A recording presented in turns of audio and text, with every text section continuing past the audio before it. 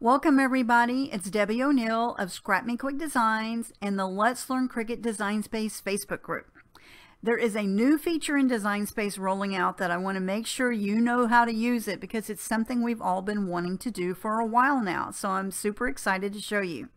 Now, this is the Guides feature. I know you're like, what is Guides? Guides is a way for us to make our own notes and templates in Design Space. Yep, you heard me. Notes and templates in Design Space to make our own. Yes. Now, this is available starting in the desktop version 7.6 or higher. So if your desktop version is 7.6 or higher, you will have this. But the great news is it's also rolling out in the Cricut iOS app. Okay, so if you haven't updated your Cricut app in a while on your iPhone or your iPad, go do that and it will update it to version 5.6. Then you will have the guides feature on your mobile device as well. Now, unfortunately, it is not available for the Android device just yet. Cricut's still working hard on trying to get some of these features into the Android app. As soon as I hear that it is available in Android, of course, I will let you guys know. But let's take a look at the guides and what it can do for you when you're crafting with your Cricut. So the first thing I'm going to do, we're just going to do something basic. I'm going to grab a heart shape. Now this could be anything, right? Um, but there are templates already built into Design Space here if on when you're on the desktop version. There are not templates if you're, you're on the iOS device, okay? But in the desktop version, you could maybe go find a template that was approximate to your object that you wanted to use to put uh, your image on with Cricut, right? And we would go in and we would, uh, you know, create a shape. So for this example, I'm going to make, I have a heart-shaped dish that I want to add vinyl to the inside of the dish. I'm not going to need to cut out the dish, right? I already have the dish. Before what we were having to do was to create a template for ourselves and then we would need to maybe change that to white. There were several steps we had to remember, right? And then we would find our image that we wanted to use. And I'm just going to say flower. We would pick our image and put it onto this template that we've made. I'm just going to pick this. And you would pull it over and you would size it for it to fit this template that you've created yourself, right? Using a shape in Design Space. Okay.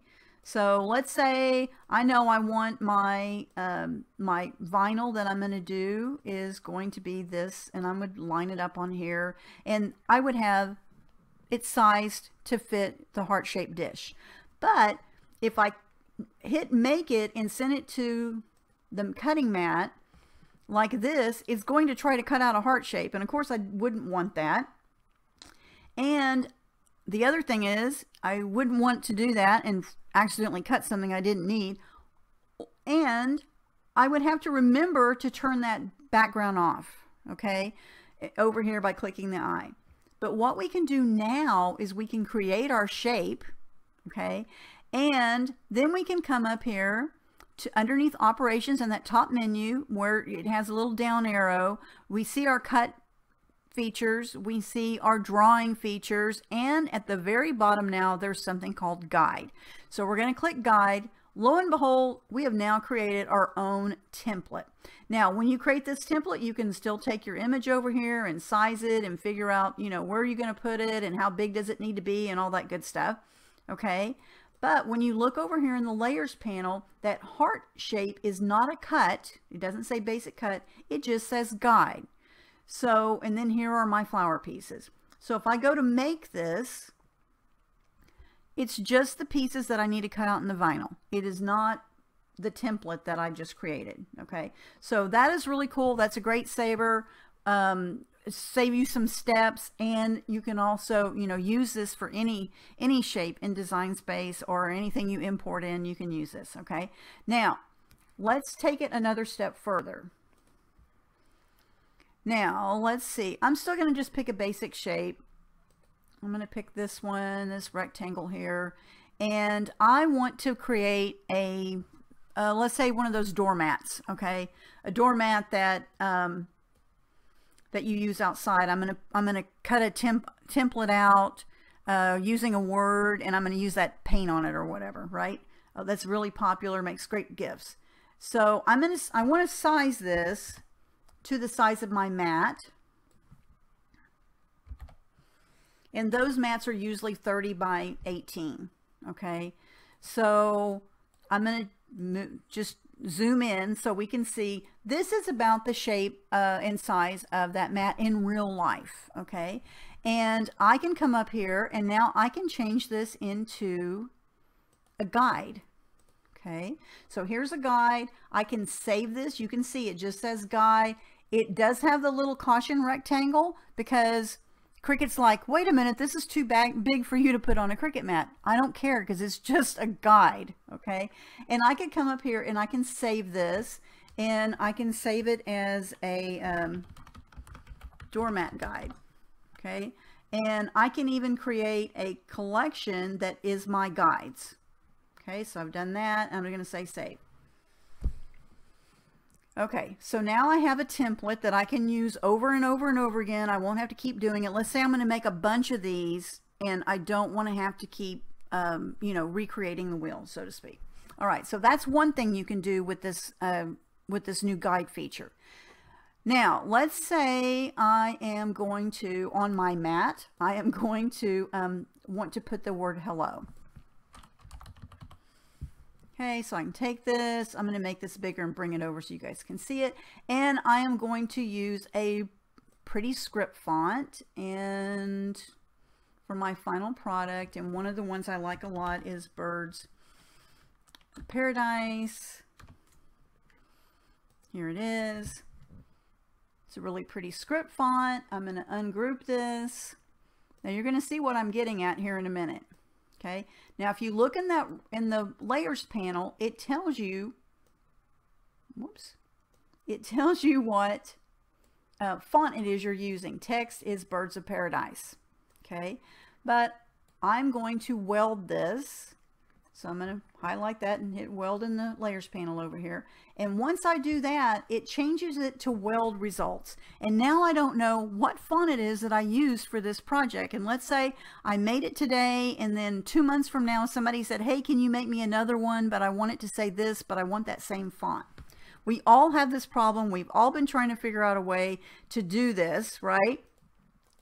I'm going to make this so it would fit if I cut it out. okay, so it's got to be the right size.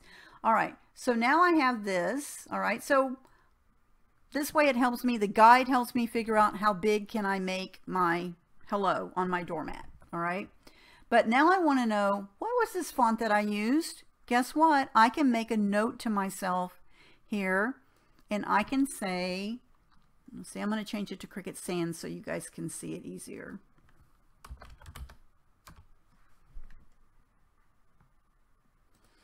There we go. I'm going to make a note to myself that says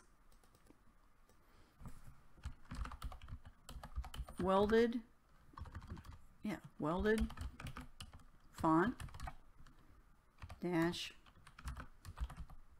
birds of paradise. Okay, so I've got this. I'm going to size it so it's smaller. Um, and I can come back over here to operation and I can go down here to guide and now this is a note to myself. It's not going to cut out. It is simply a guide.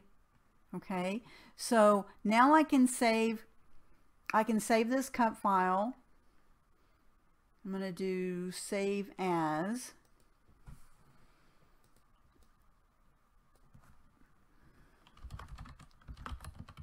I can just change it. So uh, door, doormat guide with hello.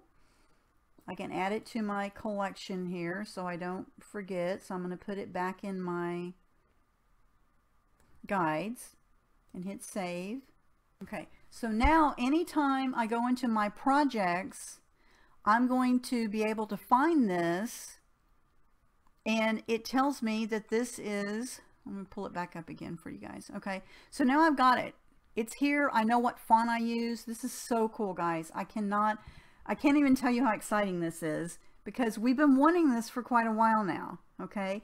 Now, the other thing I want to show you, which was cool, is that sometimes when you're creating a project and maybe you pull in some images from Design Space or you've uploaded a SVG file or whatever, and you're going to you're going to, you know, make the project. This is a peony in Design Space. When I was thinking about this project, I put it on, put it in my Cricut uh, Design Space screen, and I thought, oh, I want to remind myself, I think it would be really pretty if these centers were gold foil, okay, gold foiled cardstock or whatever. So I made a note to myself and I can save this file.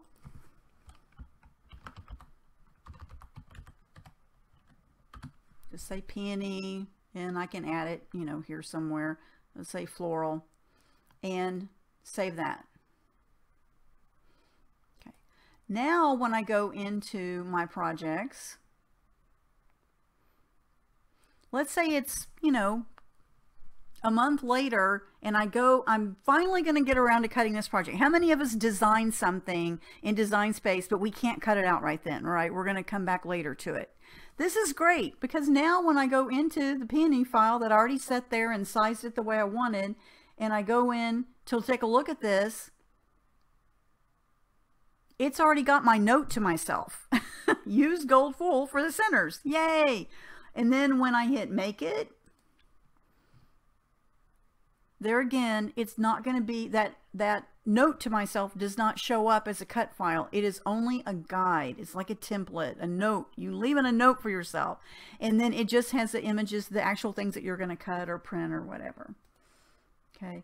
So I think this is a really cool feature. I think it's something that it's going to be very helpful. Now, if you're using the iOS version, so you'll go to your, add the image to your mat in the iOS device, and then you need to hit edit. At edit, then in the left-hand corner, you'll see where it says operations, and you will click the down arrow here so that then you, oh, it opens up the operation guide and you can go down to the bottom and click guide. Once you do that, you get to this screen where it says apply, and you need to hit apply. Once you hit apply, then it actually changes the image into the guide. So that's how you do it in the iOS devices. I'm using my iPhone. Hope you guys found this useful. I hope you will use the guides. I am so excited to be able to add notes to myself because I can't tell you how many times I wish I had been able to do that. I've tried doing it with just adding fonts and then always trying to remember to hide the font stuff before the font note before I clicked it to hit make it and I always forget. Um, and if you're like me, I know you find that annoying. Anyway, so this the new guides feature in Design Space is really cool and I hope you guys will use it. Come over to our group, Let's Learn Cricut Design Space Facebook group, and let me know if you've used this uh, before or if you're excited about it. I'm uh, happy to see and talk to you guys about this if you have any other questions. Thanks so much and happy crafting!